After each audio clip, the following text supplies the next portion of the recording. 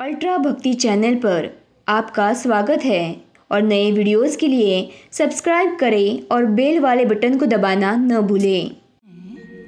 सत्य और सदाचार के प्रति भक्ति हूँ। मैं सत्यव्रती और सदाचारी का आभूषण पूजा हूँ। भगवान सूर्य के वरदान से प्राप्त अग्नि के पुतले को उग्रा समुद्र में फेंक देती है। समुद्र के स्पर्श से जन्मे उग्रा पुत्र सिंधु को देखकर इंद्र भयभीत हो जाते हैं। शुक्राचार्य सिंधु को नीति ज्ञान की शिक्षा देते हैं। उधर सिंधु से भयभीत देवराज इंद्र अपने भाई सूर्य के समीप प्रकट होकर कहते हैं, भैया सूर्यदेव, ये दुष्ट सिंधु दैत्य मात्र कह ही नहीं रहा। आपसे वरदान प्राप्त कर यह संसार के लिए एक संकट बन जाएगा।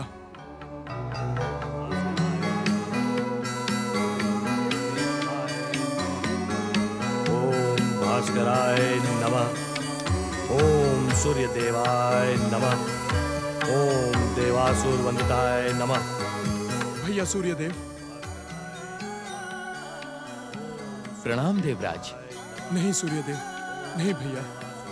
संसार के लिए मैं देवराज हूँ किंतु आपके लिए मात्र भैया हूँ। भाई तो हम अवश्य हैं देवराज। परंतु मर्यादा और सम्मान की दृष्टि से आपका आदर करना मेरा परम कर्तव्य है।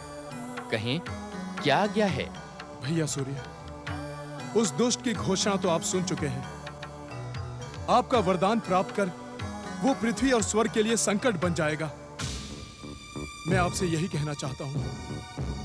कि आप आप उस दुष्ट को वरदान ना दें। मैं तो कर्तव्य के पथ का पथिक हूँ देवराज। ना तो मैं किसी के कार्य में हस्तक्षेप करता हूँ और ना ही मुझे किसी का हस्तक्षेप अपने कार्य में प्रिय है। ये प्रश्न हस्तक्षेप का नहीं है भैया। ये ये संसार के कल्याण और जनहित का प्रश्न है। मैं जानता हूँ देवराज मैं जानता हूँ कि संसार कल्याण और जनहित से अधिक आपको अपने स्वर्ग की चिंता है। इसे देखकर आपके स्वर की सुरक्षा पर संकट के बादल मंडराने लगे हैं। इस कारण आप मुझे इसे वरदान न देने के लिए कह रहे हैं। आप मेरा अपमान कर रहे हैं सूर्यदेव। मैं तो सत्य कह रहा हूँ देवराज सत्य कह रहा हूँ। अगर सत्य को सुनकर आप आहत हो रहे हो तो ये बात प्रमाणित होती है कि मेरा कथन सत्य है। मैं आपको आज्ञा भी दे सकता हूँ सूर्यदेव और आपको विवश होकर मेरी आज्ञा का पालन करना ही होगा। ऐसी भूल ना करिएगा देवराज। कि छोटा भाई बड़े भाई की आज्ञा की उपेक्षा करे। इससे आपके संसार के कल्याण की भावना को पीड़ा पहुंचेगी। तुम अपनी मर्यादा की सीमा लांग रहे हो सूर्यदेव। देवता होने के कारण देवराज इंद्र की आज्ञा मानना तुम्हारा परम कर्तव्य है। मुझे अपने कर्तव्यों का भली भांति ज्ञान है देवराज क्योंकि मैं अपने कर्तव्य पथ पर कभी भी चूक नहीं करता। जहाँ तक आपकी आज्ञा मानने का प्रश्न है तो मैं ऐसी किसी भी आज्ञा को स्वीकार नहीं करता। जिसमें किसी का व्यक्तिगत स्वार्थ छिपा सूर्य! तुमने मुझे स्वार्थी कहकर अपने सर्वनाश को आमंत्रित किया है। तुम्हें मेरे आज्ञा का पालन करना ही होगा। तुम इस दुष्ट को वरदान देने कदापि नहीं जाओगे। अगर ये मेरी निष्ठा पूर्वक आराधना करेगा तो मैं इसे वरदान अवश्य दूँगा।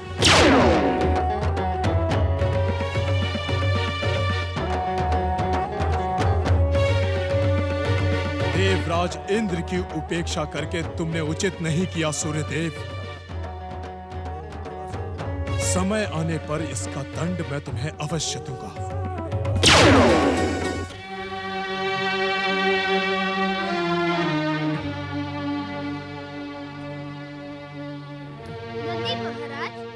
आपकी निराशा और उदासी इस बात का संकेत दे रही है कि आपका मन कैलाश पर नहीं है।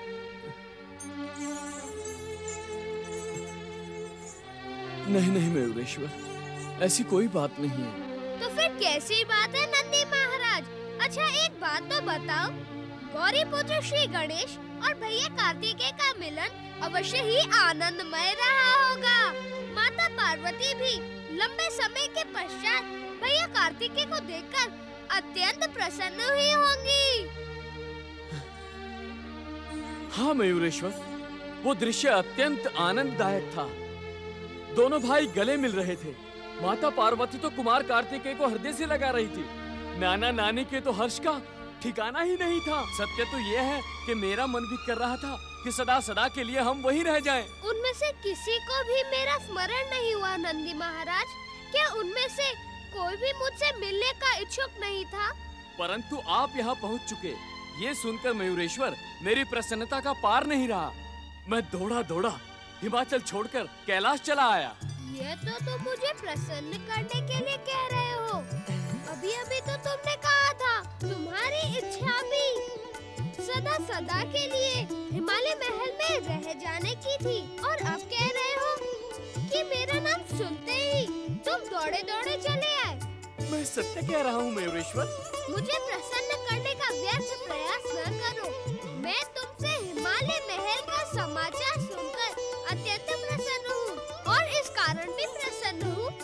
मुझ अकेले को पिताश्री शिव शंकर की परम पावन सेवा का अवसर प्राप्त हुआ। मयूरेश्वर मेरी किसी बात से आपको पीड़ा पहुँची हो तो मत छोटा न करो नंदी महाराज मैं तो यूँ ही परिहास कर रहा था। पिताश्री ने मुझे अपनी सेवा का अवसर दिया। इससे अधिक मेरे जीवन में और कुछ नहीं हो सकता। ओम नमः शिवाय। हर हर महादेव। हर हर महादेव।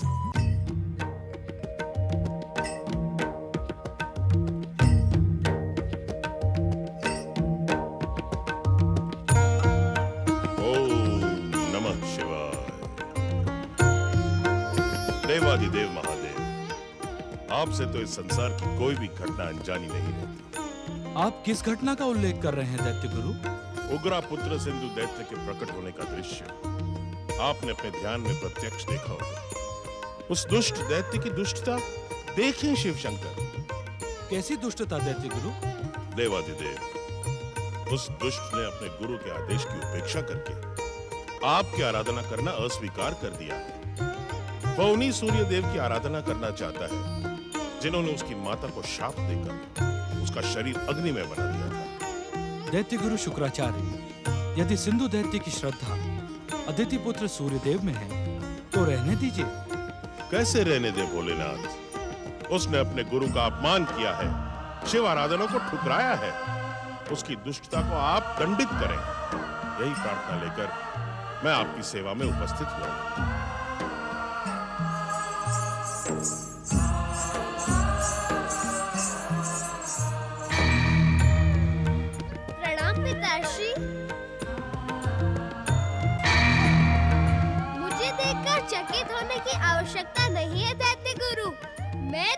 तो पिताश्री भगवान शिव की इच्छा और परम देव श्री महागणेश की महान लीला का ही एक प्रतीक हूँ। आश्चर्य है दैत्य गुरु शुक्राचार्य श्री महागणेश के प्रतीक मयूरेश्वर गणेश को देखकर भी आपने इनको नमन नहीं किया। दैत्य गुरु क्या नमन करने की अद्भुत शक्ति से आप अपरिचित हैं? भोलेनाथ नमन की अद्भुत शक्ति से मेरा परिचय सीमित है। दैत्य जाति में नमन की परंपरा नहीं है। मैं आपसे निवेदन करता हूँ महादेव कि मुझ अज्ञानी को नमन की अद्भुत शक्ति का परिचय दें। शुक्राचार्य जब नमन करने के लिए आपके दोनों हाथ जुड़ते हैं और आपका मस्तक झुकता है तो आपके हृदय का द्वार खुल जाता है। आपका नमन स्वीकार करने वाला बिना किसी बाधा के आपके हृदय में प्रवेश करके आपकी समस्याओं का समाधान कर देता है। अर्थात? दैत्य गुरु इस समय आप जो समस्या लेकर कैलाश में उपस्थित हुए हैं। उसका समाधान भी मयूरेश्वर गणेश ही करेंगे। आप इनका पूर्ण समर्थन के साथ नमन करें। जो आज्ञा भोलेनाथ, नमन की अद्भुत शक्ति का ज्ञान आपसे पाकर मेरा जीवन धन्य हो गया। ओम मयूरेश्वराय नमः। मुझे क्षमा करें मयूरेश्वर श्री गणेश। परिचय न होने के कारण मैं आपको पहचान न सका अनजाने में हुई मेरी इस भूल को आप क्षमा करें। आप अनजान हैं। मैं यह मान लेता हूँ, परंतु इतने भी अनजान नहीं है कि परम देव श्री महागणेश के प्रतीक स्वरूप को देखकर भी पहचान न सके। फिर भी मैं आपको सच्चे मन से क्षमा करता हूँ और आपको विश्वास दिलाता हूँ कि पाप का घड़ा भरने पर सिंधु दैत्य का सर्वनाश अवश्य होगा। मयूरेश्वर श्री गणेश आपकी कृपा वचन सुनकर सिंधु दैत्य के प्रति मेरे मन में उमड़ती प्रतिशोध की ज्वाला को शांति मिली है। मैं आपको सच्चे हृदय से धन्यवाद देता हूँ। आपकी जय हो। भोलेनाथ यदि आप आज्ञा दें तो मैं एक निवेदन और करना चाहता हूँ। अवश्य। आप अपनी आराधना करने वाले पातालवासी असुर देवांतक और नारांतक पर कृपा करें। उन्हें अपना वरदान देकर अनुग्रहित करें। न जाने क्यों प्राय ऐसा प्रतीत होता है कि आप दैत्य गुरु शुक्राचार्य नहीं अपितु राजनीति के सर्वोच्च शिखर पर बैठे एक राजा हैं जो राजनीति के क्षेत्र में विजय पाने के लिए अपना पासा फेंकता रहता है। मैं कुछ समझा नहीं महादेव। एक और तो आप सिंधु दैत्य का सर्वनाश करवाना चाहते हैं और दूसरी ओर नरांतक और देवांतक का उद्धार करवाना चाहते हैं। दैत्य गुरु एक गुरु के लिए उसके सभी शिष्य समान होने चाहिए।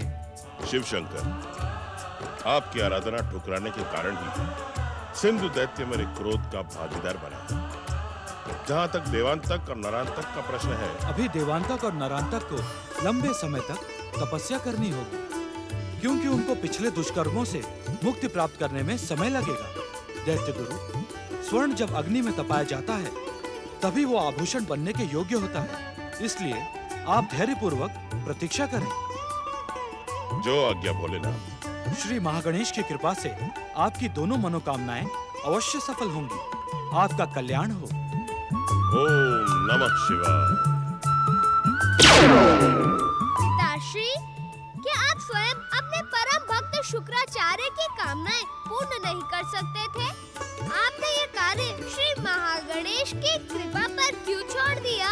मयूरेश्वर, हमारे मुख से असत्य वचन कभी नहीं निकलते। भविष्य में जो घटना है, वर्तमान में हमारे मुख से निकल चुका है। और जो कुछ भी होगा, श्री महागणेश की कृपा और उनकी इच्छा मात्र से होगा। और उसके माध्यम श्री महागणेश के तीनों अवतार बनेंगे। पिताश्री के वचनों पर विश्वास रखें वह इनके कथन के अनुसार ही होगा। मेरे जन्म को शापित करने वाले सूर्यदेव मुझे दर्शन दे।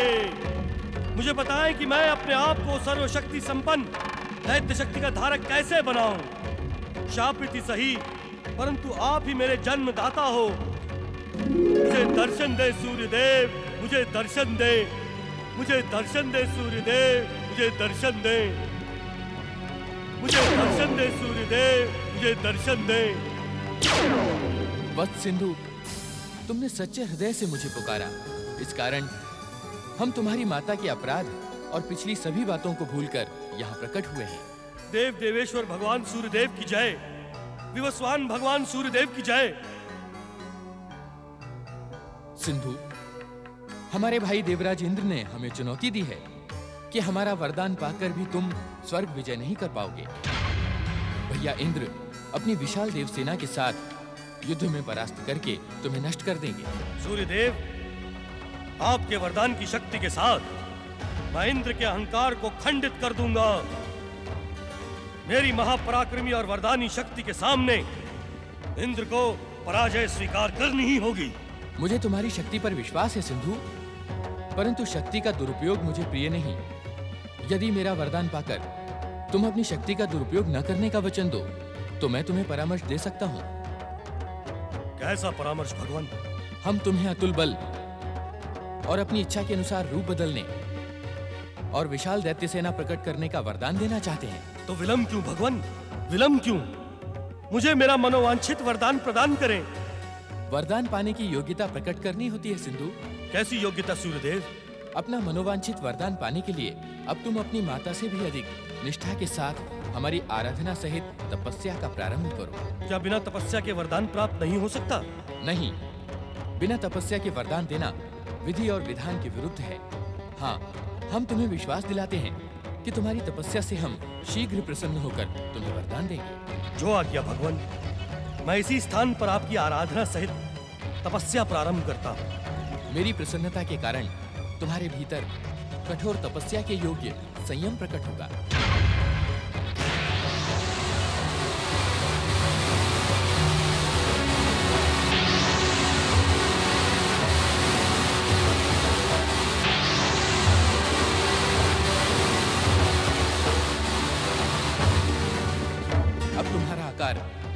तपस्या के योग्य हो गया है। तुम्हारा कल्याण हो, वत्स। तुम्हारा कल्याण। ओम सूर्य देवाय नमः। ओम भुवनेश्वराय नमः। ओम विवस्वते नमः।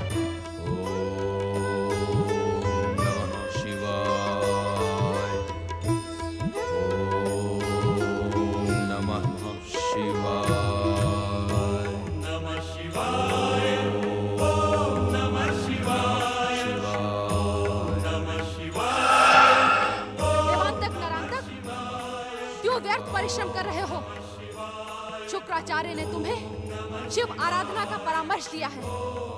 किंतु इतनी लंबी तपस्या के पश्चात भी उनके आराध्य शिव शंकर तुम्हें वरदान देने के लिए प्रकट नहीं हुए। बंद करो ये शिव आराधना। तुम दोनों परम पिता ब्रह्मा जी की आराधना करो। वे मेरे परम पिता हैं। यदि तुम उनकी आराधना करोगे तो मैं तुम्हें उनसे मनचाहा वरदान दिलवाऊँगी।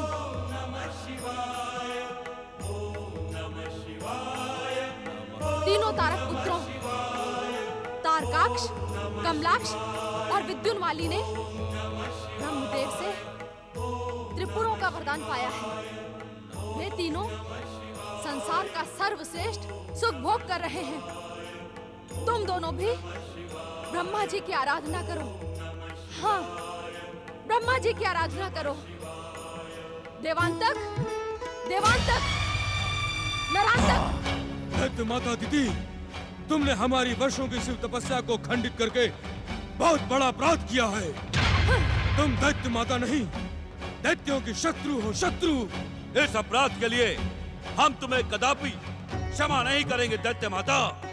मैं तुम्हारी शुभ चिंतक हूँ। मैं तुम्हें उचित परामर्श देने के लिए यहाँ आई थी। मेरा परामर्श मान लेना ही तुम्हारा कल्याण है। यदि तू हमारी शुभ चिंतक होती तो हमारी तपस्या खंडित नहीं करती। मैं तुम्हें इच्छित वरदान दिलवाना चाहती हूँ। शिव आराधना का त्याग करके तुम परम पिता ब्रह्मा जी की आराधना करो। नहीं शिव हम असुरों के आराध्य हैं। हम उनकी तपस्या का त्याग नहीं करेंगे। तुम्हें शिव आराधना का त्याग करना ही होगा। ये मेरी आज्ञा है। तू कौन होती है हमें आज्ञा देने वाली? हाँ यदि जीवित रहना चाहती है तो चली जा यहाँ से। अन्यथा हमारा क्रोध तेरा सर्वनाश कर देगा। हाँ। मूर्खों क्या तुम दैत्य माता दिति की परम शक्ति से परिचित नहीं हो? दैत्य माता दिति का अपमान तुम्हारे अंत का कारण बन जाएगा। भैया देवांतक ये दुष्टा इस तरह मानने वाली नहीं। इसे दंडित करना ही होगा। तुम ठीक कह रहे हो भैया निरंतक आओ आओ। भैया निरंतक हमने दैत्य गुरु का परामर्श माना, परंतु दैत्य माता दीदी ने हमारी तपस्या पूर्ण न होने दी। अब हम दैत्य गुरु को क्या मुँह दिखाएँगे? यही तो मैं भी सोच रहा हूँ भैया देवांतक अब अब भगवान शिव भी हम पर प्रसन्न नहीं होंगे। ऐसी स्थिति में हमारा पाताल लोक जाना ही उचित होगा। समय व्यर्थ करने से उचित तो ये होगा कि हम पाताल की ओर चले। नारायण नारायण पाताल वासी देवांतक और नरांतक तुम दोनों इस प्रकार दुखी ना हो। तुम दोनों की तपस्या खंडित करने की दोषी दैत्य माता दिति है। तुम दोनों नहीं ये बात भगवान शिव से भी छिपी हुई नहीं है। कौन हो तुम? और हमें परामर्श क्यों दे रहे हो? मैं देवताओं का ऋषि नारद हूँ। देवताओं के ऋषि असुरों का परामर्श देने आए हैं? असुरों को नहीं तपस्वियों को। संसार में तपस्या करने वाला हर व्यक्ति नारद का मित्र है। अपनी भक्ति को सुदृढ़ बनाने के लिए उसे परामर्श देना नारद का कर्तव्य है।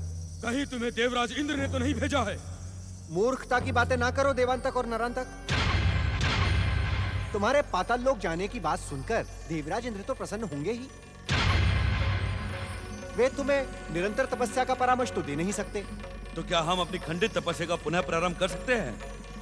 नारायण नारायण अवश्य देवांतक और नरांतक अवश्य। तुम्हें सच्चे मन से शिव आराधना प्रारंभ कर देनी चाहिए। भगवान शिव आशुतोष हैं। वे अवश्य तुम्हारी तपस्या से प्रसन्न होकर तुम्हें आशीर्वाद देंगे। नारायण नारायण।